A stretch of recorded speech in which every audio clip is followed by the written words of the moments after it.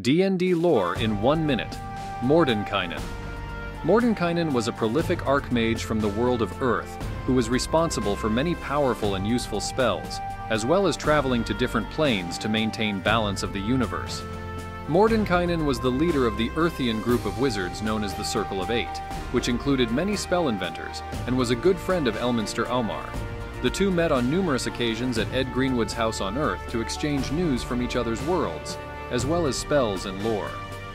Following the demise of the Circle of Eight at the hands of Vecna during the Lich's first failed attempt at obtaining greater deity status, a grieving Mordenkainen was consoled by Elminster, as the wizards reflected on the fragility of their good deeds.